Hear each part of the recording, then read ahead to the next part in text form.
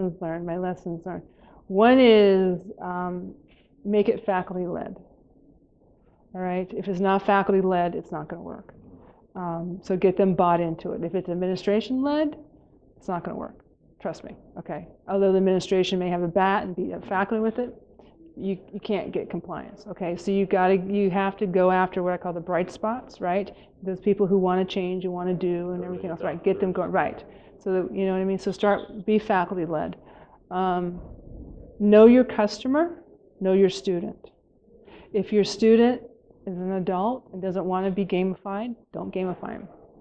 Don't do these sexy things because everybody else is doing it, right? Know what you have to do and who's going to receive it so that you can better construct the experience, you know? And I guess the last one is um, reach out for, for other people who have done it, right? Because the thing is, the nut has been cracked but, and there's a lot of experience out there, so just reach out and say, can you help us do X? And it doesn't have to be big help, I mean, it can be a little help. And I'm not talking about vendors and consultants and all that junk, right? I'm talking about with other institutions or uh, colleagues and stuff, but I mean, you know what I mean? That's collaborative. the collaborative initiatives. Yeah, exactly. You know what I mean? Collaborate.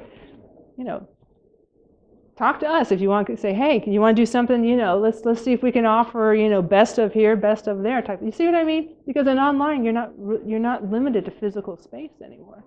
So it's great because you're you're able to actually do these very innovative things that you couldn't do before because you had to be stuck in one place. You know. So those are my three things.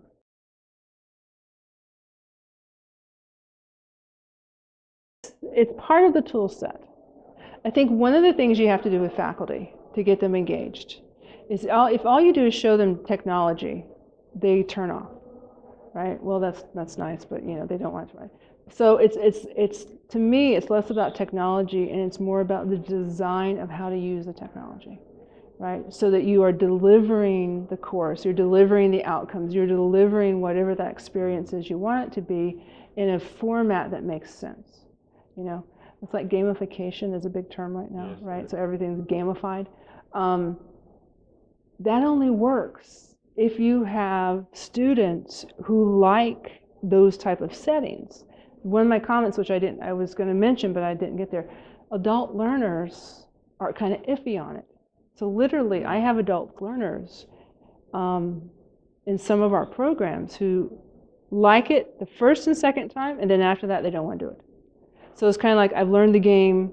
That's nice, fun. Let's move on, right? Because I'm here for a reason. I want to, you know what I mean? So you have to be careful in the application because if you do it to everything, you're going to lose segments of students. So you have to be very aware of that when you are designing the outcomes and the technology with it. You know what I mean? And that's what these products do for you. I mean, you know what I mean? But I think the reason why they're changing the game is that they're putting artificial intelligence into it. So they're allowing kind of the, the computer to assess did they get it right, did they get it wrong? That's kind of a binary thing. But then as they, okay, so here's the complexity though. So here's the next one. And this is nothing new. I mean, because I don't know if you're aware of this, but the, the institutionalized tests in the United States have been doing this for a long time. So the SATs of the world, if you get it right, it takes you to a more complex question. If you get it wrong, it takes it down. You know what I mean? So all of these things have already been thought of. It's just that this is doing it in a much different way.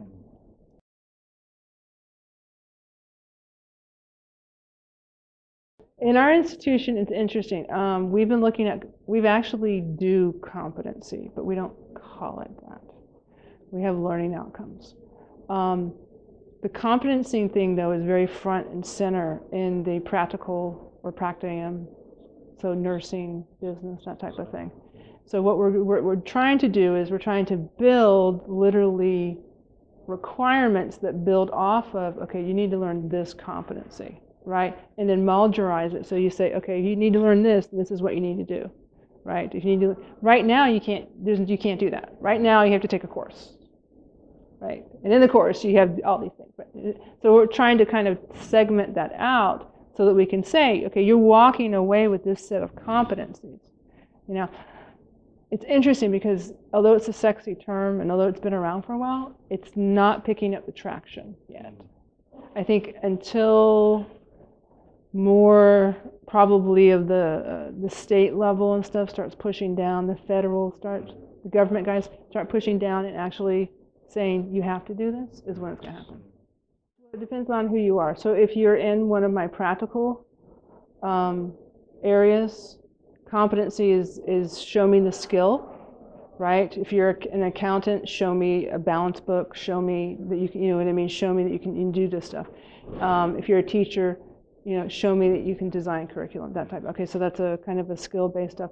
Um, intellectual competency is more around application. Okay, so just because you understand philosophy you know philosophy, apply it to this. Take, you know, take this scholar's work and apply the, the themes to this. So it depends on what you're, ta- who you are and what you're talking about, what you need them to know. Um, the thing you have to look out with adaptive technologies is, is that most of them are at that very basic level. So they haven't advanced to the more um, conceptual stuff. they they're very much at the definition, applic- you know what I mean? You know, this is what it is, this is what it does, that type of stuff, yeah. So just be kind of aware of that because there's a little bit of difference between that. Adaptive learning is a, a new phrase that's being attached to multimedia and um, multimedia tools, which are basically doing a combination of things. One is is that they're taking a course and building it from a learning outcome perspective, and then mapping those learning outcomes to modules.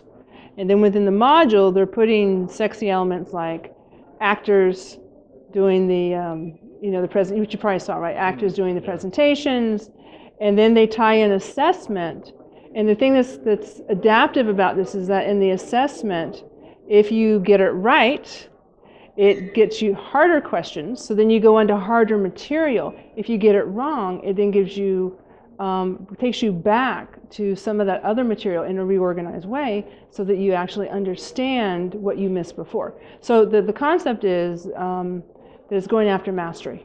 That's the big thing. It's going after, prove that you know this, prove that you know you mastered this, whatever is, this, this subject. So that's what adaptive learning is. I gave a presentation with um, Adaptive Courseware, which is a, an American firm, which is literally in this marketplace who's doing this, and they have an engine that actually um, can provide these type of services. They have a platform, they also have products. So what we're trying to do is we're trying to lower the cost of a degree, all right? Because right now, um, the systems in place are charging a price that keeps the system going versus what is actual for the student. Okay, so the price of degrees have really gone through the roof.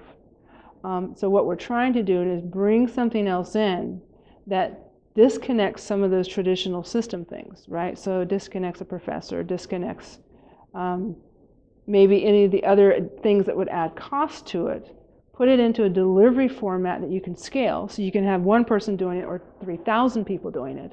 It's not going to cost you anything differently, right? And then charge only what it, it's going to take to do that. Okay, not the full scale, like, you know, here's the professor costs and here's all this other stuff. So, literally, what you can do with it is you can take it down to this very low level. The vendors are still trying to make money. So, I think once we kind of get to a place where this technology is a little bit more holistic, in the marketplace, I think the entire cost will come down. But right now, you know, it's it's very much these guys are very what we refer to as early. You know, they're out there. They're everything for them is first like first time out, right? First time out, you know, second time out. No one has actually reached a mature place in this yet. The marketplace also is going to change. I mean, because technology, right? So you start off, you saw that list, right? You start off with 10 vendors. We'll get down to five. Mm. We'll get down to the five who do it really, really well you know. But that's just that's, that's technology. That's normal.